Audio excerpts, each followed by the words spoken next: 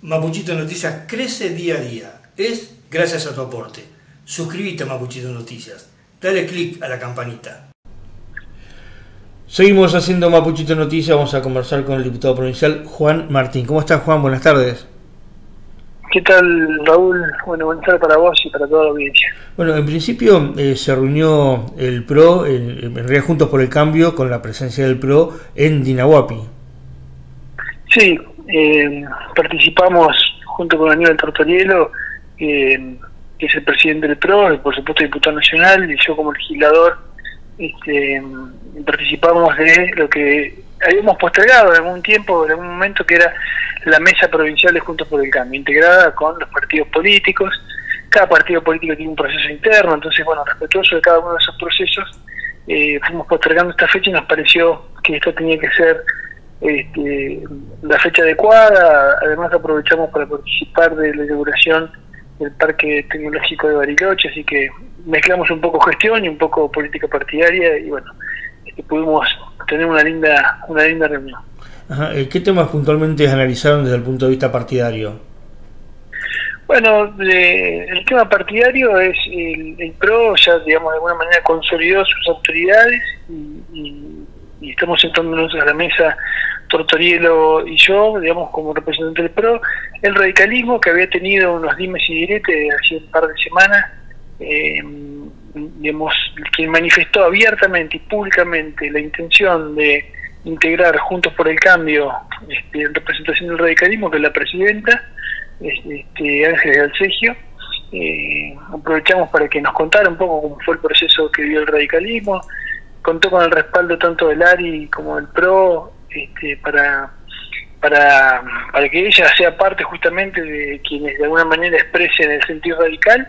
Y, y es un proceso que nosotros vemos con expectativa, estamos seguros que, que en la figura de ella y de los afiliados que la acompañan está el genuino pensamiento radical, el corazón radical está allí, así que esperamos con un radicalismo comprometido Juntos por el Cambio, junto con el ARI y la coalición cívica que también expresaron sus intenciones de, estar en esta mesa de Juntos por el Cambio, fortalecerlo junto con Valores para mi País, que es un partido de formación, junto con el peronismo republicano que representa en alguna medida el ex senador Pichetto. Eh, queremos y trabajamos para un Juntos por el Cambio fuerte y que podamos en el 2023 dar la pelea en la provincia y por supuesto en la nación, que es ese, un poco la elección más importante que tenemos, ¿no? Eh, que que a veces si uno pareciera que el 2023 no llega más, ¿no? Porque angustiantes medidas de gobierno nos tienen todo el tiempo pensando cómo hacer para cambiar esta realidad. Así que tenemos expectativa en la provincia y tenemos expectativa también en la nación. en la semana anterior eh, conversé por un lado con eh, Marcelo Cascón y por otro lado con Ángeles Dalcegio.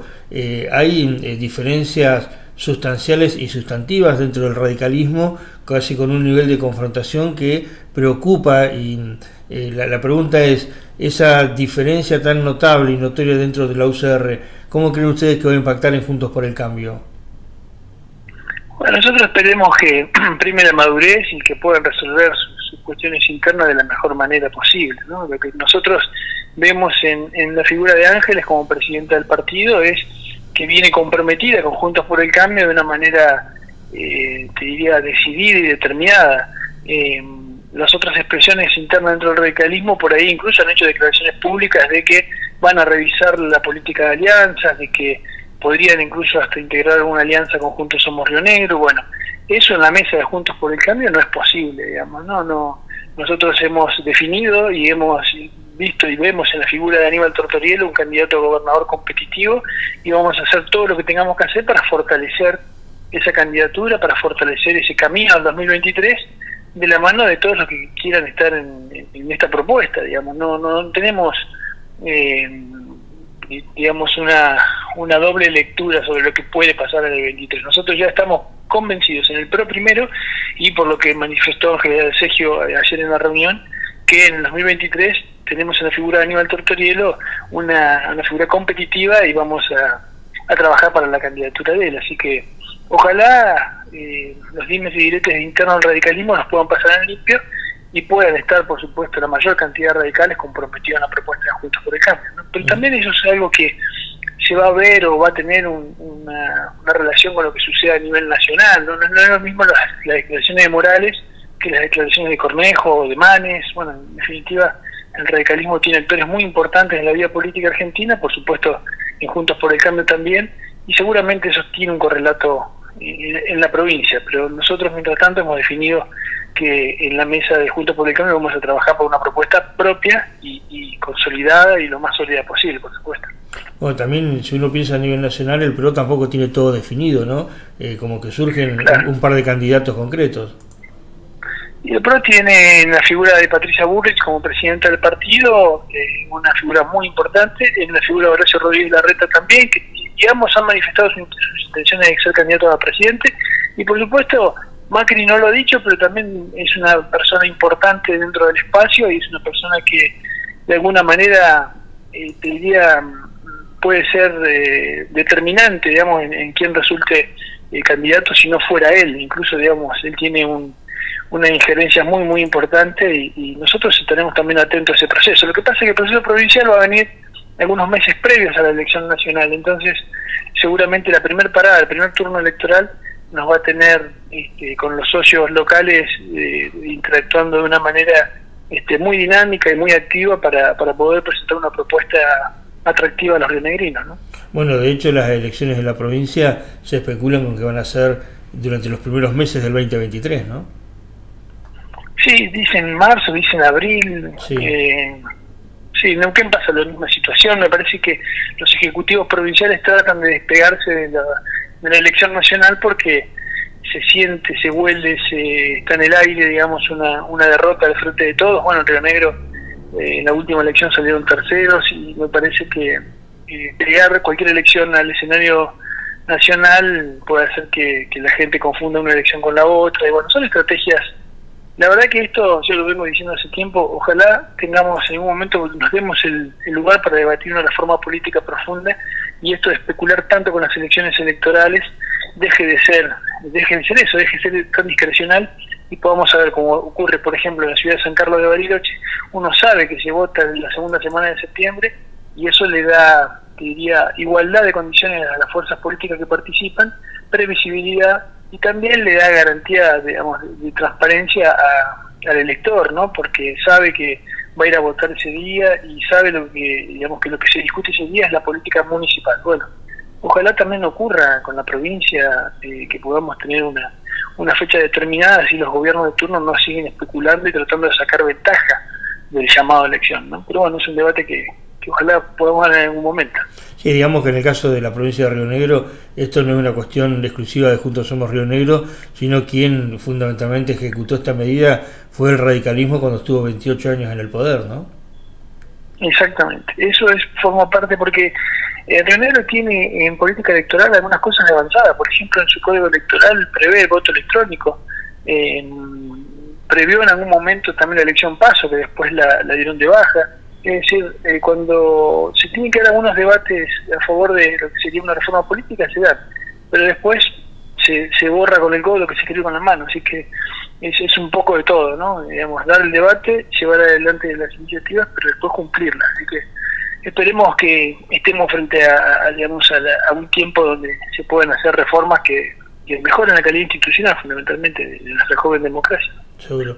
Eh, me dicen que andás por Mendoza, ¿a qué responde ese viaje? Estoy en Mendoza junto a legisladores provinciales, diputados nacionales, porque lanzamos desde el PRO lo que se llama se va a llamar el PRO Federal, que es un espacio que mm, yo siempre digo que el PRO nació en la ciudad de Buenos Aires, primero fue compromiso para el cambio, bueno, después fue propuesta republicana, y nunca dejó de tener ese viso de, porteñismo, digamos, ¿no? De ser una expresión porteña. Bueno, eh, transcurrieron las elecciones, los años, el gobierno del presidente Macri, y la, la presidencia Patricia Bullrich, que ya le dio otra impronta al partido. Bueno, ahora hay dirigentes regionales muy importantes, como el caso de Omar de Marchi, Federico Angelini, el propio Humberto Schiavone, Laura Rodríguez Machado, por, mencionar algunos, ¿no? Pero eh, me parece que todo ese músculo que el interior le aporta a, a, Buenos Aires o al partido, bueno, hoy se ve reflejado en una pata que se llama Profederal y que va a tener como principal cometido este, que hacer al partido más más federal, más, más integrado con las provincias y, aprovechando el protagonismo que han tenido los, los dirigentes del interior. ¿no? Eh, Juan, gracias por atendernos. Bueno, muchas gracias a Raúl. Un abrazo. Un abrazo, que estés muy bien. Hasta pronto.